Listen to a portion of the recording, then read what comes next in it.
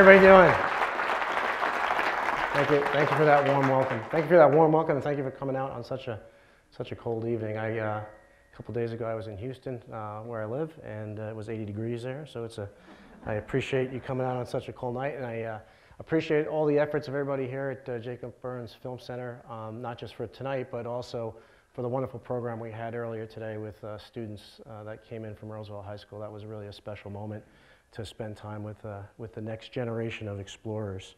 Um, I'm really excited. I'm really excited to be here. I'm really excited to have this opportunity to have a, a conversation with you about uh, perspective. There's, I mean, you've, you've seen some videos already, and you've seen um, how perspective can affect the way we interact with our world, interact with each other, uh, how we deal with each other. And uh, this, is a, this is a presentation about perspective. And um, I really appreciate the opportunity to share with you um, a perspective that I believe uh, will lead to a, profound sense of hope and optimism, uh, a perspective that I think, if embraced, can nudge our global society on a much more positive trajectory. And I call this perspective the orbital perspective uh, and as you heard, it's the, uh, it's the topic of the book that, that just came out. And the book is divided into three sections. Each section has uh, three chapters. There's looking skyward, the second uh, section is looking earthward,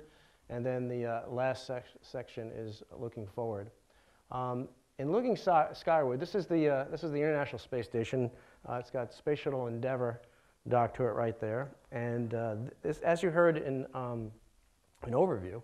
Um, this was built by 15 nations. Uh, it's arguably the most complex, complicated structure ever built. It was the largest, or one of the largest peacetime collaborations in the history of, of humanity. Uh, and it was built by 15 nations, some of which weren't always the best of friends, some of which were on the opposite side of the Cold War, on the opposite side of the space race. And the point of looking skyward is to make the point that if we can do that in space, if, we, if nations and, and organizations can set aside their differences and, and cooperate and do such a great thing in space, imagine what we can do by applying that same level of, of cooperation here on the Earth. And so the idea is to take that example of collaboration, that building an International Space Station, to bring it down to the Earth and put it into the context of our rapidly developing, hyper-connected global society. And when we do that, we see that some uh, pieces of the puzzle become, become very, very visible. Uh, in looking earthward, in the second section of the book, we take the focus and we turn it around and we point it uh, back towards the Earth. And uh, this is a picture that I took of Space Shuttle Atlantis as it was coming aboard on the last mission of, space, uh, of the Space Shuttle program.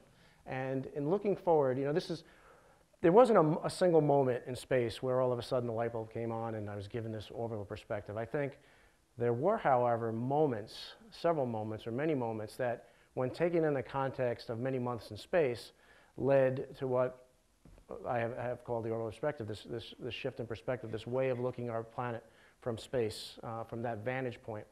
And rather than just trying to explain to you in words what it took me 175 pages to do in the book, I want to show you uh, the orbital perspective. And about a month before I returned to Earth, I flew to a place on the International Space Station called the Cupola. Now, the cupola is this windowed observatory on the bottom of the space station. And I flew there because I wanted to take some time-lapse video uh, for a project they were working on, some of which you saw in the overview movie. And this is a, a picture of me uh, in the cupola. And as you can see, it's an earth-facing uh, window. And I, I took a picture um, as I was setting up for, for the shots where it showed this illuminated line that was snaking across a large landmass for hundreds and hundreds of miles. And in the video, you said uh, you heard uh, astronaut Jeff Hoffman say that you know astronauts say you can't see any borders from space. Well, I was one of those astronauts that used to say that, and apparently I'm wrong, because what this actually is is the man-made illuminated border between India and Pakistan. And seeing that from space had a profound effect on me. For the 50 plus years that humans have been flying in space, astronauts and cosmonauts have commented on how beautiful, how tranquil, how peaceful, how fragile our planet looks from space, and you heard some of those astronauts talking about it in overview. But the point is not that we could look down and see a man-made border between India and Pakistan. The point is that we could look down at that same area and feel empathy for the struggles that all people face. We could look down from our orbital perspective and realize that each and every one of us is riding through the universe together on this spaceship that we call Earth, that we're all interconnected, that we're all in this together, and that we're all family. And we, when we look at the beauty of the planet we've been given, we are faced with an undeniable, sobering contradiction between the beauty of our planet on one hand and the unfortunate realities of life on our beautiful planet on the other hand. Those that don't have clean water to drink, enough food to eat, uh, the poverty and the conflict that exists on our planet. This is, this is the world we live in. It's a world where the possibilities are only limited by our imagination and our will to act. It is within our power to eliminate the suffering, the, the poverty, the conflict that exists on our planet. And I launched into space with this belief that we have all the technology, we have all the resources necessary to solve the problems that we face. And so any available free time I had while I was on the space station, I spent with my face plastered to a window looking at the Earth and, and pondering if that's true, then why do we still have so many problems? Why do we face so many challenges? And I believe the primary reason why we still face so many critical issues, in spite of our ample technology and ample resources, lies in our inability to effectively collaborate on a global scale. This is the global scale. It's a scale where man-made and natural boundaries shrink. It's a scale where individuals and organizations and governments set aside their differences and work together towards common goals. We now have the technology to enable true global collaboration that is world-changing. Uh, the key challenge is demonstrating just how vital, how valuable collaboration truly is. The good news is there are 20, over 20 million organizations in the world working to improve life on Earth. The bad news is, for the most part, these organizations are not engaged in a unified, coordinated effort. There's a great deal of duplication of effort, lack of efficiency, and lack of the good that would be created if they took a much more unified and coordinated approach. So that was the first part of the book, or the second part of the book. The third part of the book is looking forward, and this is a picture that I took in 2011 from the International Space Station. It shows Somalia and Ethiopia and Yemen. And from the orbital perspective, from this, pers this vantage point uh, of space, you can see how beautiful it is.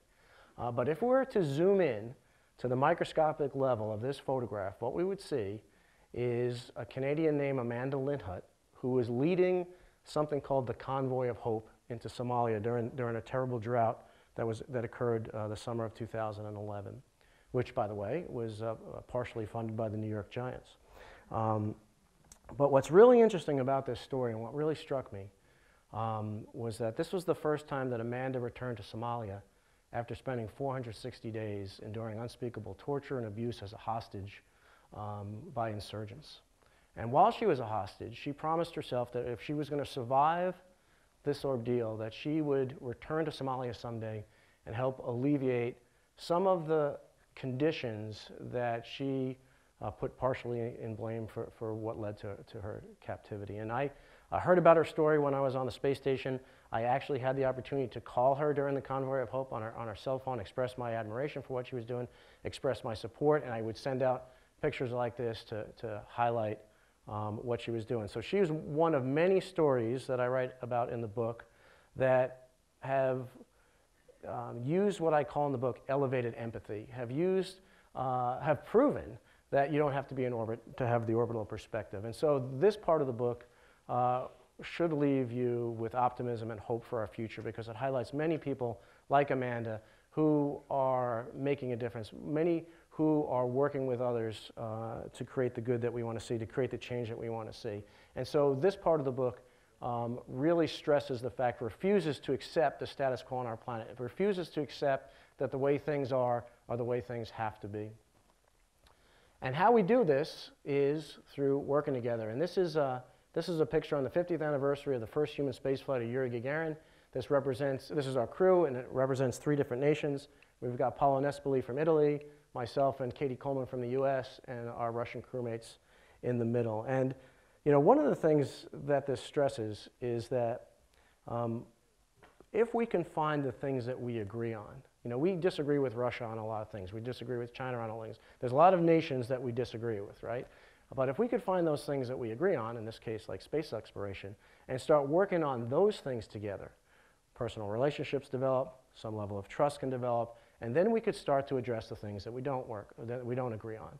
Um, but we tend to do the exact opposite. We tend to use the things that we agree on as a hammer, as a stick to force the things that we don't agree on, and that, that just doesn't work. So to put everything in perspective, since this is a talk about perspective, does anybody know what this picture is? What's that? The, the pale blue dot, exactly. So 25 years ago on Valentine's Day, uh, uh, 19, was it 1990, um, at a range of about 3.7 billion miles.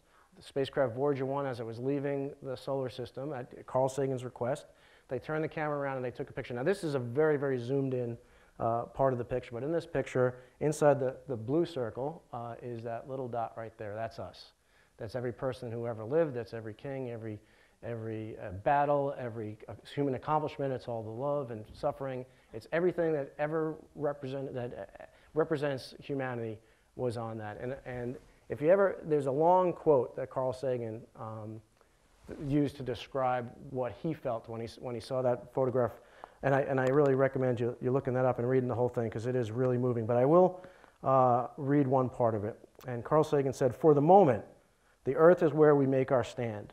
There is perhaps no better demonstration of the folly of human conceits than this distant image of our tiny world.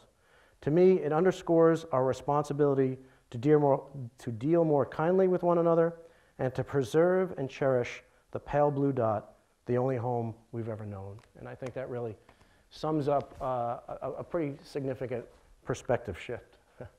so let me just tell you a quick story um, because this is an example, th these pictures represent a story that is how we can do things right. And so these are just various pictures from, from our launch. Uh, on my second mission, my first mission was on Space Shuttle Discovery. We launched from Florida. Uh, my second mission was aboard the Soyuz spacecraft, where I was a fully integrated member of a Russian spacecraft uh, crew with two Russian military officers. And so what's interesting about this story is on a, a cold evening in April of 2011, I stood at the base of the, of the rocket that would, would take me and my two Russian crewmates to space. And I was standing on the 50th anniversary of the first human spaceflight from the same exact launch pad that Yuri Gagarin launched from on that historic day. And we were in a previously top secret military installation. Um, this was in, in Kazakhstan, former so in, which was part of the former Soviet Union. And what was really striking about this and what really hit me, you know, I'm, I'm pretty emotional. I'm getting ready to fly off into space for six months. But what really struck me, and you can't see in this picture, uh, but in addition to a Russian flag on that rocket, there was an American flag too. And I, I, mean, I get choked up just talking about it. There was, a, there was an American flag on the launch pad um, waving in the breeze, and there was a, an American flag painted on the rocket. And why that was so significant to me is I spent the first 15 years of my adult life uh, training to fight the Russians uh, as, as a Cold War warrior uh, during that time frame. So to me, that was an incredible example of what we can do, of what we can accomplish if we work together. So just, I want to talk just real quick about some of the issues that are facing our planet. And you know, we have many problems facing our planet. And we've been working for decades and decades to try and solve these problems, whether it's cures for disease, alleviation of poverty, uh, access to clean water, whatever, whatever ill you want to look at.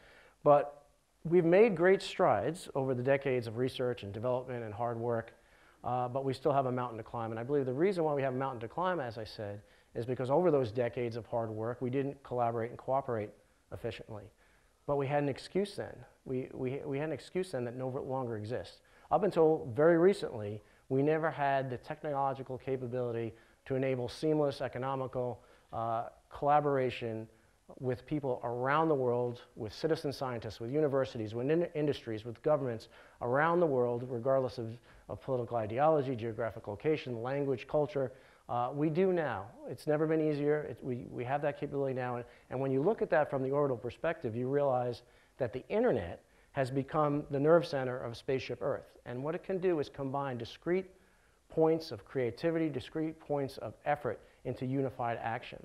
And that I think has a, an incredible capability. And once we connect the additional 5 billion minds uh, to the internet, to the global conversation that is enabled by the internet, that we have 7 billion creative problem solving minds, we're going to see that, that solutions can come from places we never heard of. And we have to have the humility to be able to accept that, and we have to have the courage to be able to step outside of our comfort zones and to coordinate and uh, to collaborate with those, those people. So this should be obvious. Uh, you don't have to be in orbit to have the orbital perspective. That's the whole book. That's the whole point of me writing the book. Is I had this amazing perspective that was provided by going to space, but it wasn't a perspective that I didn't launch with. I didn't have a real change of perspective. I had a reinforcement of per perspective. I had I launched with a belief that we have a, have a responsibility to leave this place a little bit better than we found it. What going to space did for me was put that into concrete terms. It made it obvious, it made it undeniable. Uh, so it sh should be obvious that you don't have to be in space to realize that we need each other, that we're all interconnected, that we're not going to get to the solutions that we need uh, unless we are willing to, to work together. Whoops. So we do have a wonderful world, and uh, it, it is a wonderful world, but it's, it's not what it could be. It's not as wonderful as it, as it could be. And I, but I believe that real change is possible, and this is important because I believe that the first step to affect real change is to believe that real change is possible. And I want to share with you a few things that I believe are possible. I believe that it's possible to live in a world without poverty. I believe it's possible to live in a world where everybody has access to clean water, nobody goes to bed hungry every night, nobody dies from preventable and curable diseases, a world that educates all its children. And I believe that we do live in a world where the possibilities are endless and they're only limited by our imagination and our will to act. And that's because I also believe that nothing's impossible. And I think, um, you know, some of you may have thought when I said we, we have the, the capability uh, to lift the entire population of the world out of poverty, you know, I've heard before people say, well, we've always had the poor, we always will have the poor. But we tend to believe that things are impossible that, that have never happened before. And not only is every great accomplishment at first seemingly impossible, it's a, it's a little crazy. You know, for thousands of years in human history, we would have thought it was crazy to fly to the moon and back, right? But we proved it was possible, and we did it. And we, and we now have this orbiting, uh, you know, highly capable orbiting research facility um, that is, is changing the world. If we could do, do those things, we can do anything, and, and nothing is impossible. And so um, I want to end with a, with a question to you, and I'm going to I'm going to ask you this question in the form of a music video. Uh, this is a picture of, of me and my crewmates and our backups uh, a few days before we launch. That's the rocket that's going to take us to space. Again, this is in the Baikonur Cosmodrome in, in Kazakhstan. And I want to, to set up this video, I want to describe my return to Earth. So after this launch, uh, we spent five and a half months on board the International Space Station. When it was time to come home, my crewmates and I crawled through the hatch into our seats in the Soyuz spacecraft, uh, which is basically like three guys in the trunk of a car. It's a really small little, little space. And we strapped ourselves, you know, we had our spacesuits on, we strapped ourselves in, our knees are in our chest. We undocked from the space station, and as we undocked, I had a window. I was in the right seat, and the right window was right by my head, and I strained to keep the, the parts of the space, any parts of the space station that I could for as long as I could because I knew in all likelihood I'd never get to see this, this wonderful sight again. And we did a couple laps around the planet. And as we passed the south tip of South America, we fishtailed our spacecraft around to point our engines backwards to, to slow us down. And I saw this crescent moon go by the window as we did this. So we fired our engines, we, we entered the atmosphere, we had this fiery ride through the atmosphere, the parachutes opened, we went slamming into the ground. We bounced, we rolled over, we flipped on our side. And that was in slow motion, by the way. And, that, as we came to rest, we came to rest on the right side of the capsule. So now my window was facing towards the ground. And as I looked out the window, I saw a rock, a flower, and a blade of grass. And I remember thinking to my, myself, I'm home. And what was really cool about that. And, I, and this dawned on me right as I had that thought. The next thought was, wow, I'm home, but I'm in Kazakhstan. and so to me, at that moment, my home was not Yonkers, New York, where I grew up. My home was Earth. And with that, I want to I want to show you this music video. And as you watch this music video and, and you get asked the question, what kind of world do you want? Uh, and as you see the unbelievable beauty of the planet that we've been given, and you see the cooperation from citizens of countries all around the world that built the International Space Station. I hope that you take that as a call to action, a call to help us spread this message of hope, to help us spread this message uh, of cooperation, and to make a commitment to help make life on our planet as beautiful as our planet looks from space. And so with that, what kind of world do you want?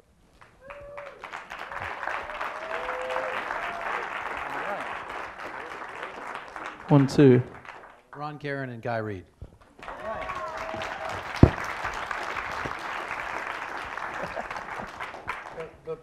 Before I forget, I want you to know that um, Ron was good enough to, uh, to agree to, to be here afterward and to sign uh, books for those who are interested, and uh, uh I can't recommend it more highly. Uh, you know, we had this, uh, you guys are under a lot of pressure actually. because the questions this morning from these 15 and That's right. 16 year olds blew our minds. So you're on. Um, so, you know, it's amazing. We- just did this this morning, and, and I have a completely different sense of things watching this tonight with a different audience. But there was one profound thing that, that hit me tonight, which is this was the perfect bookend to a program because uh, you have a film that started this that was made, really made by uh, a 15 year old in some sense, somebody who was motivated at the age of 15 to think about a shift in worldview and, uh, and to, to look out into the heavens and to imagine what it's like to look back at Earth and to be so taken with that idea. And then it just hit me, Ron, that you went up with this idea of making this video. And what's amazing about this last piece is that you're up in the space station, but what moves you is not just the images looking down, but it's the humanity in the capsule to see the flute playing, to see the ways in which you guys embraced each other and had this tremendous sense of humanity uh, in there was astounding, really breathtaking. Yeah, all that all that melts away when you when you leave the planet. And uh, but but again, you don't you don't have to leave the planet to have that happen. You just need to change your perspective. So I want to ask you about uh, the. I want to ask you about the pale blue dot because uh, I didn't realize that it was that it was shot on Valentine's Day, which is sort of perfect because it really is a love letter uh, back. Um, but it also is juxtaposed in my mind with some images from uh, from Guy's film, uh, which is specifically, I think, it's Times Square. And you see the image of the Bank of America, and there's two things that come up and they they rotate through. One of them says, "Today is for our troops." uh, and the other one is uh, drunk history. So I'm wondering uh, what kind of shift we need in terms of a shift of worldview. And there's something that you talked about this morning about, about a gentle nudge. Yeah, I think I think one of the I, I guess some of the, the discussion we had with the students this morning is you know what can I really do? I mean, what can I really do to make a difference? And and that's a really a common thread. And I think part of that frustration that, that's, that's probably the basis of that question is our attention span. Uh, part, of that, part of that is because we want to change the world tomorrow. And so what I use is an analogy of an asteroid coming towards the Earth. And you know, we have all these blockbuster Hollywood movies about saving humanity. You know, Bruce Willis saves the day, he blows the asteroid out of the sky. But actually, um, to save the planet from an asteroid would be relatively easy if we knew about it far enough out. If we knew about it decades out, which we have the capability to do in some cases, then all it would take is fly a small spacecraft out, meet the asteroid, and give it the nudge equivalent of a feather. And that would equate over the time of a missed distance of hundreds or thousands of miles, and it would save the entire planet. And so, what we need to do in our day to day actions and our day to day decisions is to think about that, that the results of what we do, what we say, um, how we act, how we treat other people is changes the, nudges the trajectory. Uh, and it actually nudges the trajectory of our entire global society. And so if you look at things from that point of view, um, there's a lot you can do, good or bad. And I think that's, uh, that's one of the things that, that part of the orbital perspective is not only to zoom out in, in a spatial sense, but it's to zoom out in a temporal sense too, and to look at things from a long-term perspective, not the next election cycle, not the, ne- the next quarterly report, but really look at things in, in a long-term view, and things become clearer when you do that. Yeah, Thank you. You, um, you talked about uh, landing Kazakhstan and your sense of home as you looked out the window. Um, I'm wondering, in terms of a lasting sense of identity, uh, what that shift has meant for you, and how, how do you self-identify these days? Yeah, I mean, you don't, by taking a bigger perspective, you don't lose anything. That's the beauty of it. I'm still, I'm, st- still born in Yonkers. I'm, I'm, I'm still a graduate of Roosevelt High School. I still, I'm, obviously an American, uh, but I'm also an Earthling. So that, that doesn't, they're not mutually exclusive. I can love my country and I can love my planet at the same time. Yeah, absolutely. And Guy, there's so um, you chose to show a clip from Planetary, which was the third thing that you saw, and um, uh, it's I think a really strikingly beautiful film. And, and you chose to show a particularly uh, darker section of, of the film, um, which is which is interesting. But but rather than talk about that, what I want to talk about is uh, because the film also is, is uh, rooted in this idea of affection um, and connection uh, for the planet um, and for each other. And if you can talk about, about that relative this, i- to this idea of crisis and fear. Well, I mean, I mean, the way Steve was mentioning that, um, that the film was made by a 15-year-old, I'm obviously not 15. Um, but I, I conceived of the film with a friend of mine 15 years ago. I just turned 30 when we were 15. Um, my friend Steve Kennedy, who's now producer on, on this film. And one of the things that struck us when we were 15 is we, we'd read a book that uh, it had a description of an astronaut talking about their experience coming back from the moon. It was Edgar Mitchell who was in Overview. And that, that the, the, the way that he talked about his relationship with the earth was, was one of affection. It was one of connection. And it sparked a feeling in us as, as young 15 year olds that actually that's such a big, simple idea. Um, and it's really, really important. And in some senses, we've kind of lost that. Um, I don't think we can ever lose it, but we've kind of moved away from that. And we've got kind of caught up, right, in our technocratic post-industrial society. And we've forgotten the basic, the basic connection that we have. And it's that connection we have to each other and to the biosphere and to the larger cosmos. And actually, it's a really, it's, it's, it's something that, it's, it's like what you were saying, it's something that you can just nudge people into. It's not a massive flip. It's something that we all kind of know intuitively. And so we were interested in, you know, how do you find ways to nudge people? And it was really interesting with Overview because we put it out. Um, we actually launched it with Ron at Harvard uh, back in on the 40th anniversary of the of the Blue Marble picture, December 2012, and the film blew up. We had no idea. Got, we've now had seven million views on Vimeo, and we've had people write to us, and this idea just spread like wildfire. And I don't think it's because it's a particularly great film. I mean, it's a, you know, it's a nice film. That's fine. But I think the idea of it is that people resonate with that that basic idea that we are, like you said, that we're that we have a larger identity, and that's an identity that we have to move into if we want to survive the next, you know, 50 years, 100 years, 200 years.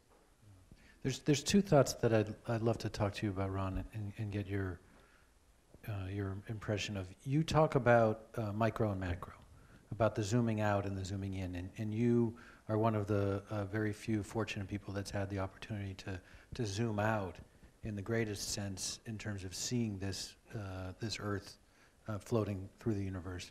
Yet, while you're out there, you're, you're very deeply connected to the micro level, talking about Amanda and the kind of work. And, and it's not something that you're just giving voice to, uh, you know, in a, in a sort of flip, flippant way.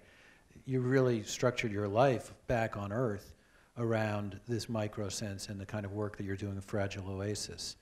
And um, can you can you talk a little bit about and, and so so it connected to me in my mind to this idea of uh, of uh, being in a spaceship and you talked about spaceship Earth, the Buckminster Fuller idea, um, and you talked to the high school students today about uh, about how they can have the sense of being essentially being astronauts themselves, being in space. And can you talk a little bit about that idea and how it relates to, to the kind of work that we need to do? Sure, and, and Fragile Oasis, and Elise David, the executive producer of Fragile Oasis, is in the room somewhere here.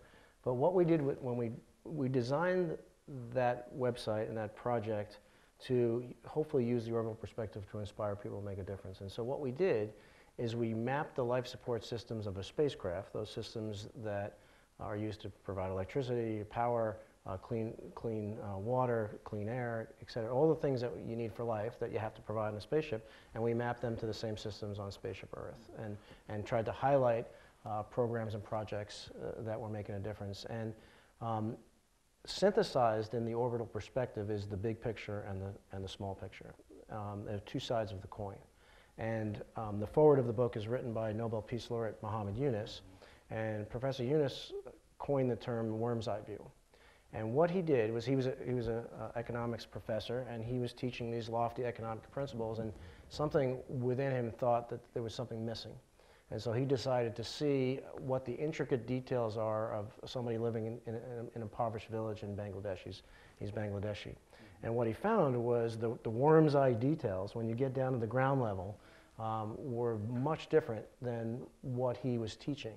He found impoverished people that were creative, innovative, resourceful, and were mainly being held down and held poor by the conditions, loan sharks, corruption, you know, not, ac- have, not having access to basic uh, materials. And so the orbital perspective is zooming out to the big picture while keeping the, the worm's eye view details uh, in mind. And we tend not to do that.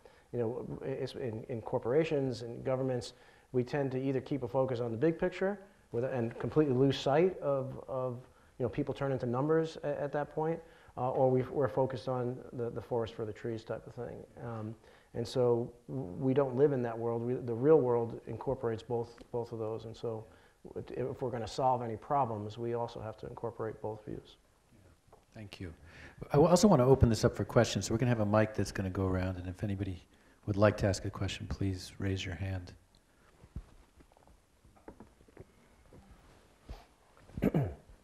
right down here, we've got some questions.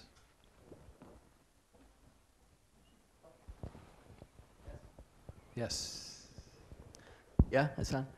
Um, there seems to be a common uh, assumption in both the overview and, and, and planetary that the survival of the species is a, is a positive thing. And, and I wondered, I wondered if there's any questioning of that. I mean, really, basically, why are we so important? Why should we, you know, why should we uh, uh, change ourselves to survive when it's so clear that we have this, this death wish? Um, I'd like to pick that up actually because there's a there's a section in Planetary that kind of deals with that directly. Um, you know, Ron mentioned the asteroid, and I've uh, talked about this a bit before. That you know we we've we know the most famous asteroid in our history is the one that slammed into the Yucatan Peninsula in Mexico 65 million years ago and wiped out the dinosaurs. We all know about that asteroid. There's been five moments in the evolution of life on this planet where we've had mass extinctions. Five. In 3,500 million years, there's been five moments. We're now in the sixth moment. We know that. But we're the asteroid. Human civilization, right? To some degree, everyone in this room. Now, that's a very pessimistic perspective, but there's a, there's a great optimism to it. Because unlike an asteroid, we're not just on a trajectory to smash into the, into the planet. We can actually change things. We can turn things around. And I don't think we're you know, too far gone, as everyone says. Steve and I were just down in DC with uh, the World Wildlife Fund, and I was talking to some of the climate scientists there. And contrary to popular belief, you know, we are going to have some big changes that are going to happen, but it doesn't mean that we have to wipe out 30% of the biodiversity of this planet and ourselves. It doesn't mean that. And I think to some degree, even if the majority of us are on that trajectory, we need to we need to do something about it. It's like uh, someone I can't remember who it was, but someone was saying to me, it's like Joanna Macy in her book, who, who's uh, interviewee in the film. She says, you know, if your child is sick, right, and the doctor comes out and says, you know, it's not looking good, would you just give up? Just walk away? No. You carry on exactly as you would. And in some ways, even if we do slam into the planet, there's a re- great redemption in the fact that we're trying to do something about it. I, I think the other the other way of, of thinking about it, also, Guy, we've talked about this, um, is you know, there's the question of is it too late, you know, or is there time to reverse anything? But there's a third question, which is, does it matter? And what do we choose to do with our time here and this gift of, of the experience of life, and how do we want to express gratitude for that and live in a way in, that is in harmony with, with our home? Uh, next question. Oh, hello. Hi. First of all, Ron, um, you're such an inspiration. Guy, your film is beautiful. Um, isn't how we eat the sort of the largest stress on this planet, and how we, you know, sort of cultivate our food, and how we feed ourselves?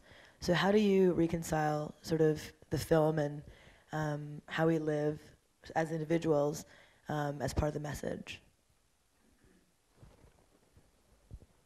Well, I, I you know, I, I guess, you know, I, I talked about a world where everybody has, uh, has, you know, doesn't go to bed hungry every night, has access to enough food.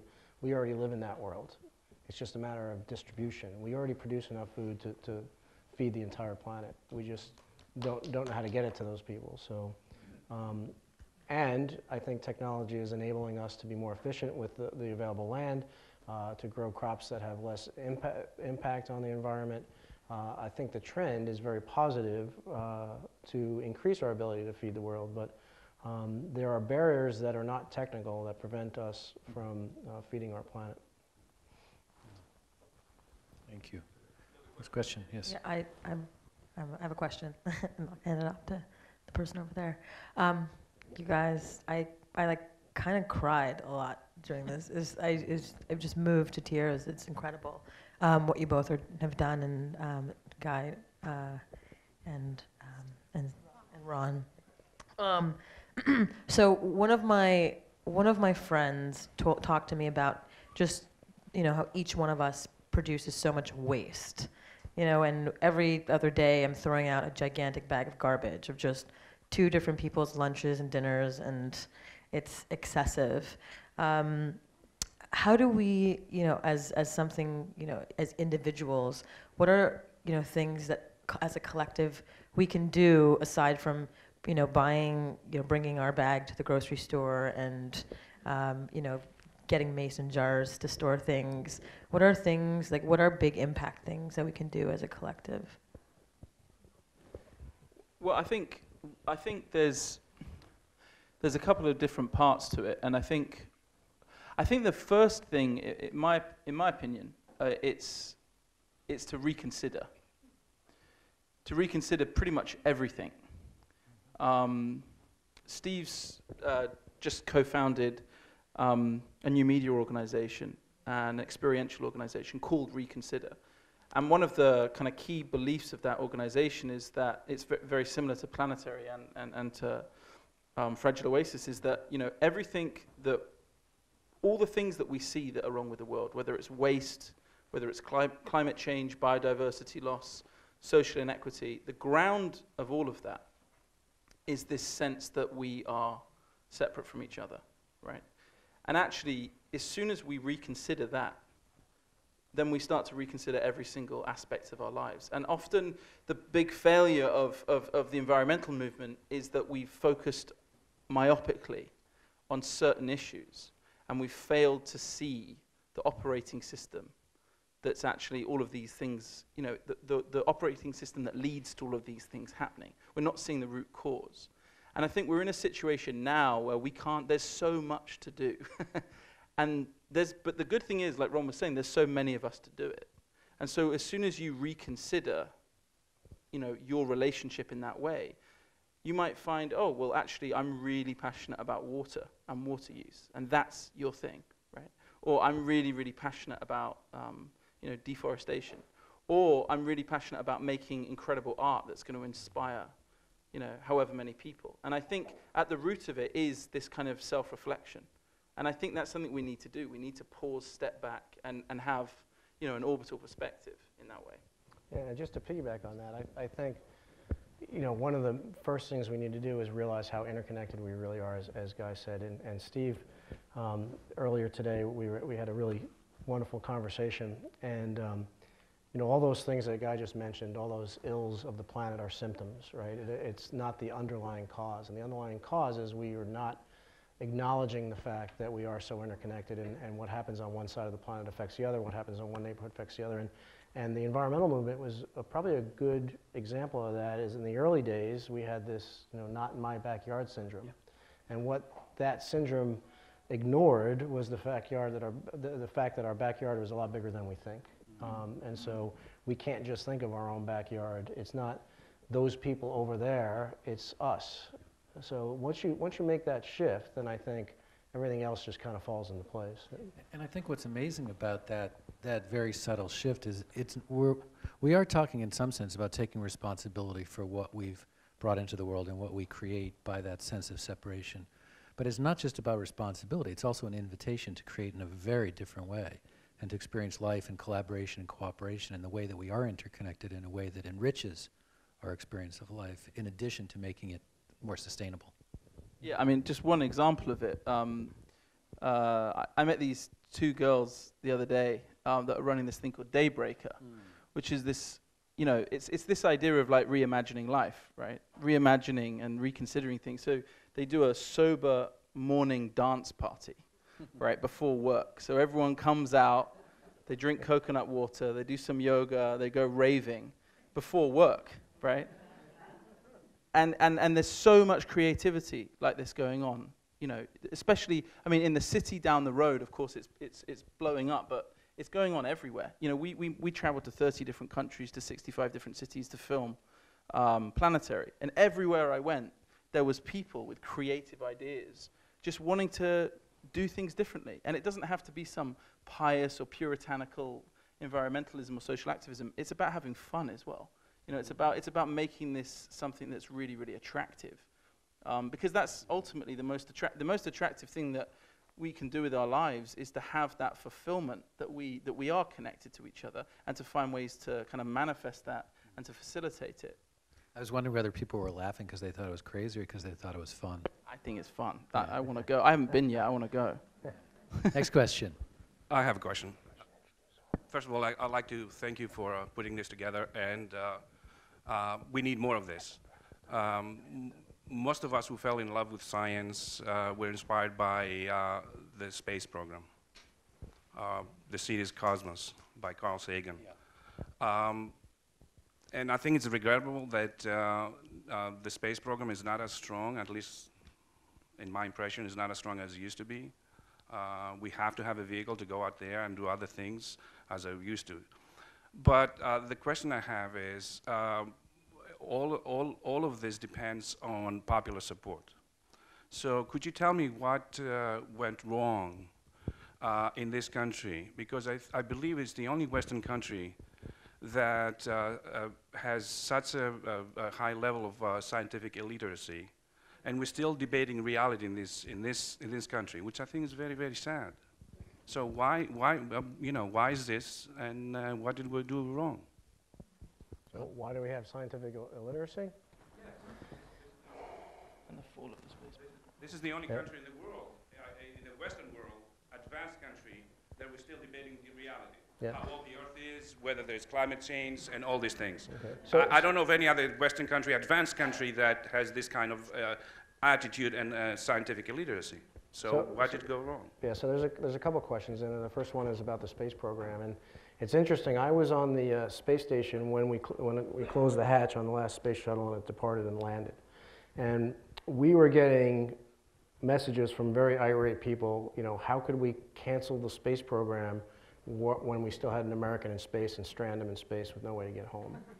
So, and I actually did news interviews while I was on the space station, and reporters were asking me, what do I think about the fact that we just canceled the space program?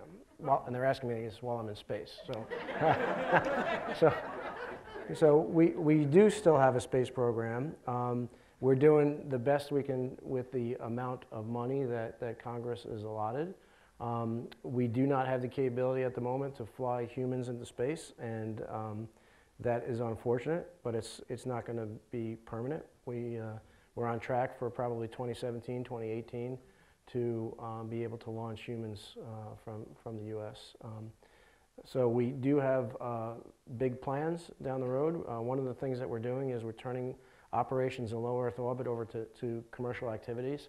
Um, and what that will enable, it will enable the big government space agencies to do the next big thing, to leave low Earth orbit to start to, to explore the, the space station. The other question is, is a deeper question, and I don't have the answer to it. I, I, I agree that we, in fact, do have a, a problem with uh, science literacy. Uh, I, I, there is an effort to um, propel STEM education, and I'll give you just a quick example. Uh, I, I think the space program has a tremendous uh, ability to inspire students to academic excellence, especially uh, when it comes to science, technology, engineering, and math. And because we don't have a ability to launch humans into space, I think that has an effect. And when I was at Roosevelt High School, uh, I had my whole life dreamed of becoming an astronaut uh, since July 20th, 1969, so not my whole life. Um, but when I got to high school, this was after Skylab was over. This was before the space shuttle. So some kid from Yonkers, you know, we didn't have. I was the same as all the other people that thought we had canceled the space program. I didn't know we had a space program. So it was ridiculous to go try and become an astronaut when we didn't have a space program. Uh, but while I was in college, we had the first space shuttle mission. I was in um, a business program at SUNY Oneonta.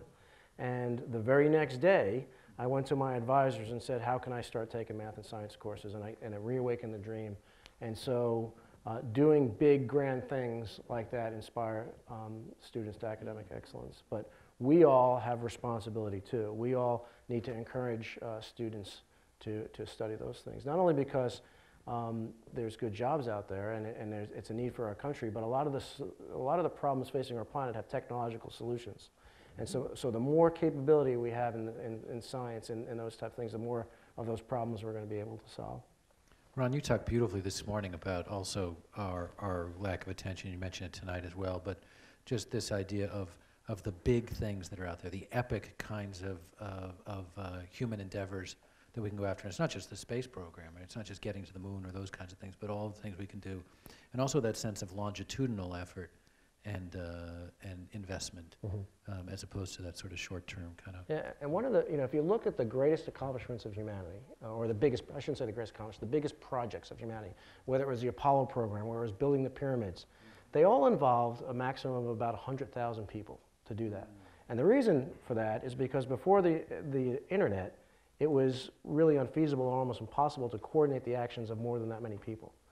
So, but there are efforts around the world right now because of the internet uh, we're, we're digitizing books, we're, we're uh, translating the internet by hundreds of millions of people, in some cases that don't even know they're doing it. And if we can go to the moon and back with 100,000 people, imagine what we do with 100 million people. And so, you know, the, the technology is exploding right now. It's on an exponential path. Uh, and I think, you know, it really, you know, can, can give us cause for optimism.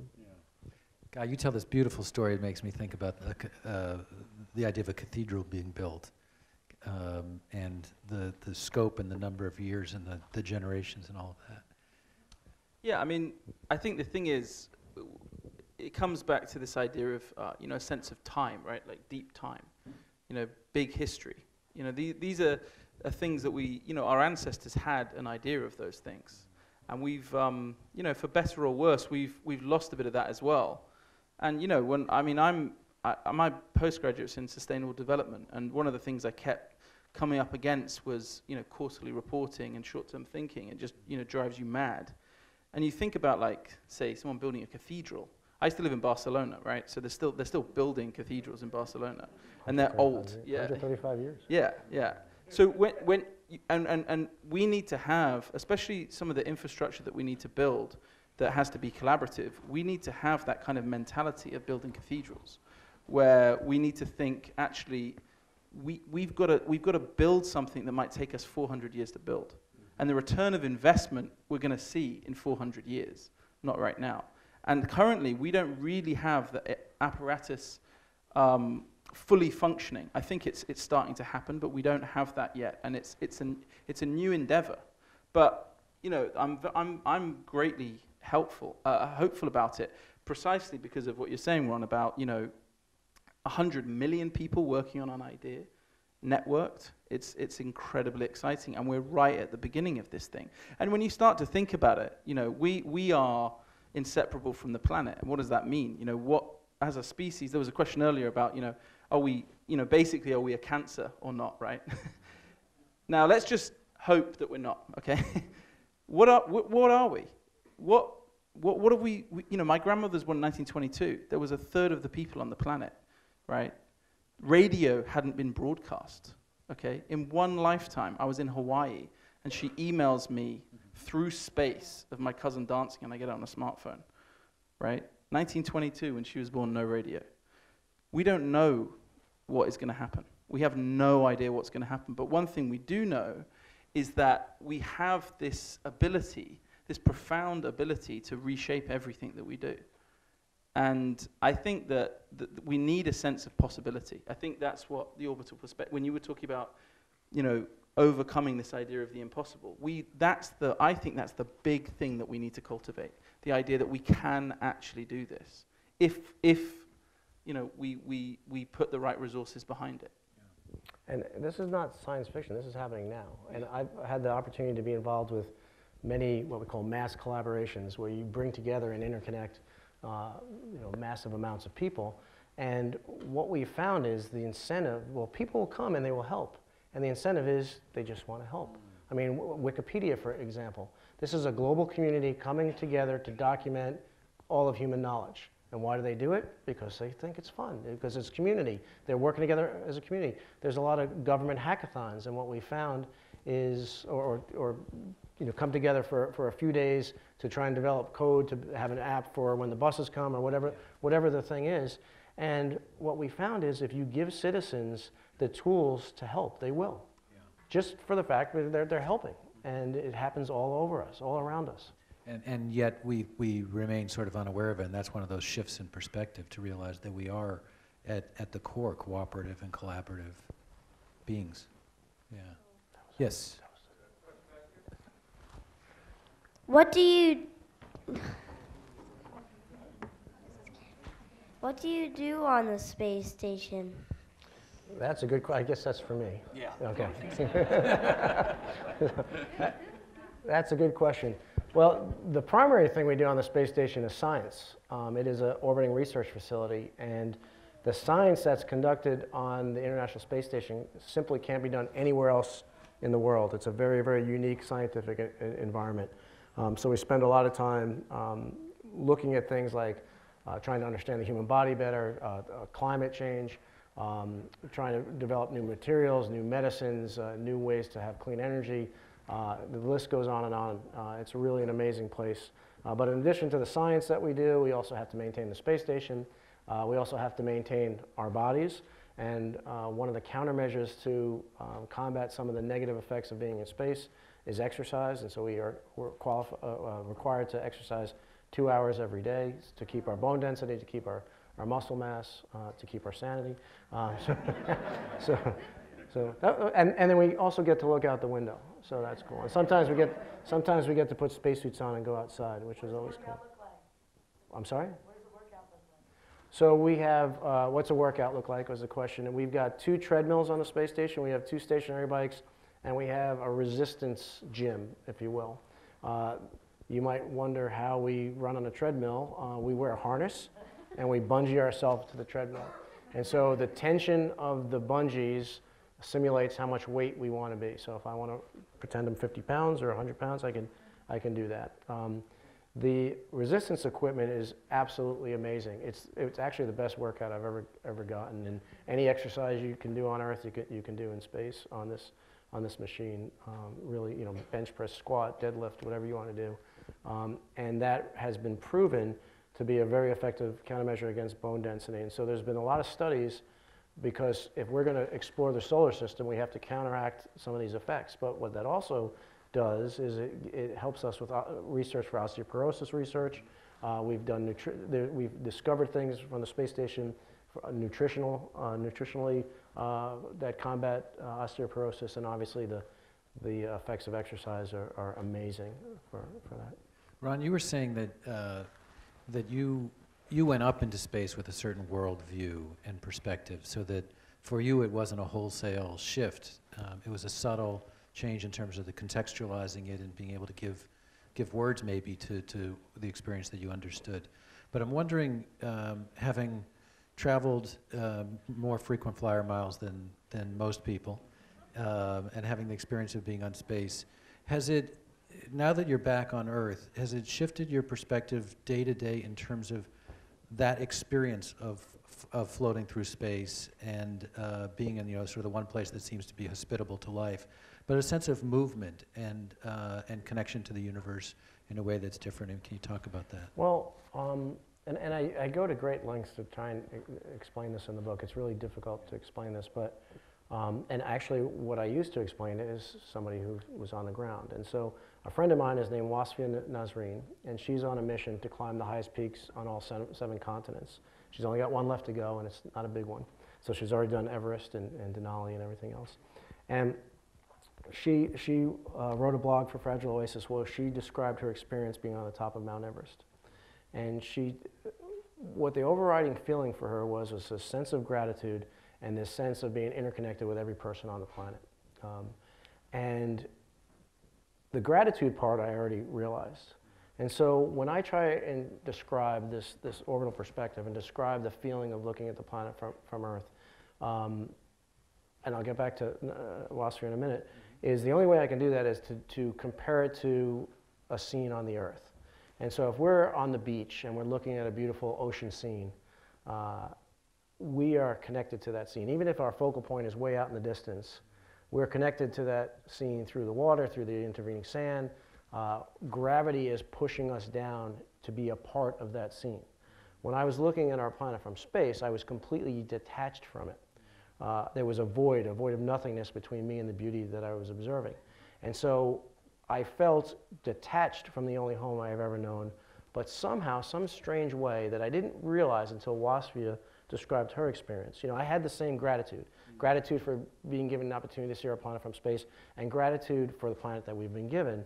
But it wasn't until I heard her words that I realized the interconnectedness, too. And, and, and those words really hit home, and I did feel that way. I did feel like being that somehow, in a way I can't uh, explain, being detached from the earth made me feel more connected to it. And, you know, maybe as an example, um, if we saw on the news or heard about a natural disaster, uh, a man-made disaster, we could see that with our own eyes. We could, oh, we're going to fly over that in 10 minutes and, and see it. And, and I know that's not all of it, but that's probably a small part of, of that. Yes, Excuse me. over here. Yes. Hi. Um, I'm just uh, your work really resonates with me. Um, and putting myself in a problem-solving mindset. I was wondering if, and this this question's open to the three of you, if you believed that um, people participate in any religions that inhibit their um, participation in the orbital perspective or their just being able to experience the overview effect. Oh, sorry. Um, I could I could pick up this. I actually studied. Um, my BA is in study of religions, um, and I, I was mo- mostly focused on Asian traditions, uh, Taoism, Buddhism, uh, some types of Hinduism, and indigenous traditions. Um, so I can talk about that perspective. Um, you know, it's interesting because the land that we stand on, uh, what was called Turtle Island, before my ancestors came here and screwed up some stuff for a while and try to redeem it, I guess, um, or our ancestors. Um, you know, the, the people that lived here before 1490, they understood the orbital perspective. They still do, right? They understood, they understood that we're interconnected and they, their whole language uh, is based around that principle. I spent some time with some, some I was very lucky to spend time with, with Hopi people and Havasupai people and also Lakota people. And in Lakota, there's no possessive. You know, when my, when my friend uh, uh, Ghost Horse, he, he, he learned English when he was nine. You know, he couldn't understand the concept of sharing because they didn't have an idea of owning. You know, that's pretty far out, right, in a language. Uh, and so I think that there is a, there is a perennial human tradition um, of understanding these things. And actually, it's been the, the, the very thing that's allowed us to go from a thousand pairs of humans in Western Ethiopia 200,000 years ago to 7,000 million of us, you know, that adapted to every single ecosystem, including space. And we've got someone sitting here who's, who's, who's adapted. And so I think that there is this perennial human tradition of understanding this perspective. And in some ways, we're kind of returning back to it, but now through the, through the, the eyes of the, nat- the natural sciences. And so, I mean, I kind of, I, I don't, like I said earlier, I think this is a nudge. I think this is in our nature. It's in our nature to be cooperative. It's in our nature to feel interdependent with, with um, the natural world and with the planet. I, I think, and I did not study religions, Uh, but you know, my sense is that uh, that in all religions you can find uh, you can find connection and you can find separation. You can find fear and you can find love. And we talked with the, the kids from Roosevelt this morning about this idea of, of the fear that's created or the love in which we come from and affection and connection and, and that being that subtle shift as well. Which what you pay attention to. Yeah. Yes. I just wanted to say that I found the most important word that you used was the word humility. Mm. And that we need the humility to move forward and not think that we're all the center of the universe, because we're not. and I think that seeing the Earth from the space station really brought that home. Yeah, you know, I, I, when you said when you said the word, I, I recalled that word as well when you talked about humility and ego, and I, I, I was thinking exactly the same thing, and I thought the movie The Right Stuff, which I loved, sort of did a disservice because it was so much about the egos that drove the astronauts, and and having met Edgar uh, Mitchell and now you, Ron, it's amazing how much heart there is in you guys, um, and sort of this incredible courage. You know, because you talked about humility and courage. The courage is there, but th- you don't feel the sense of ego in terms of of y- you. It's it's the sense that you took this trip for all of us, and that something came through you to share, which is really quite Yeah. extraordinary. Well, we don't have, we don't all have ego, but we all, all of us are all strikingly handsome.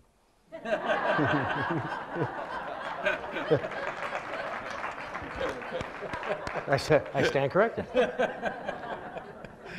we have uh, another question? How you doing? Can you hear me okay? Yeah. Yeah, uh, just a couple of quick things.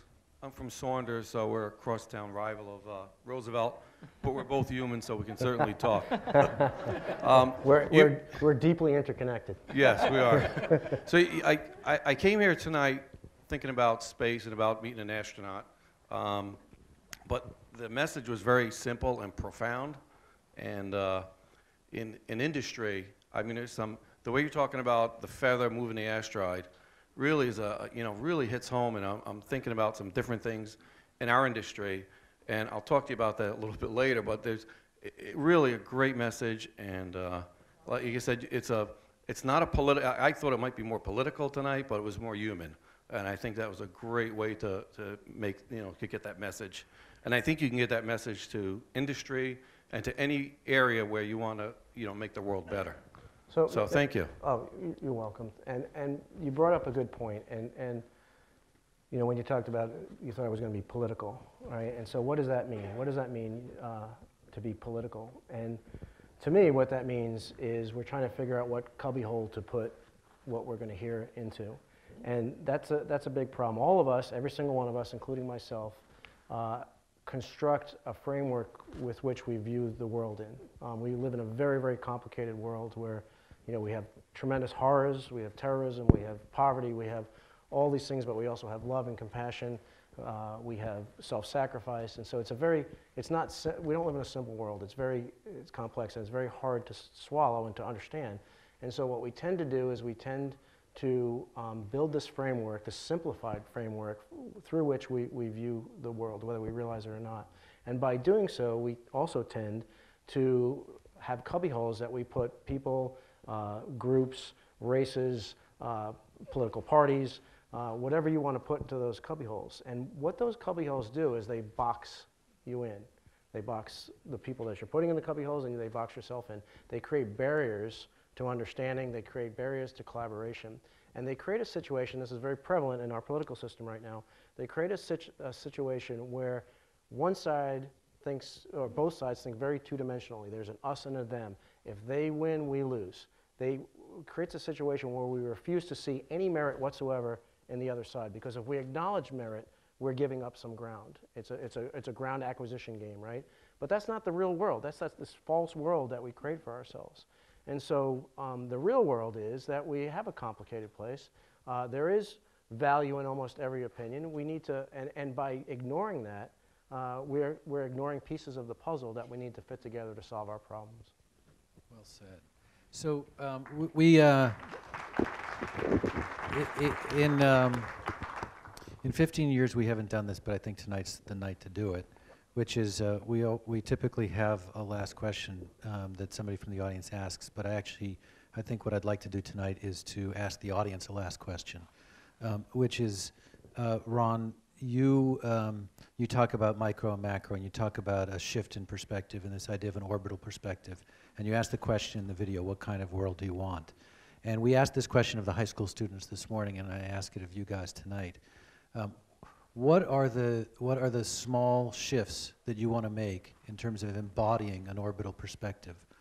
What are the ways in which you want to adjust your experience of life, uh, driving on the roads tomorrow or driving home tonight, and thinking about the issues that you care about and the ways in which just a subtle nudge uh, of your perspective can have amazing ripples through the universe.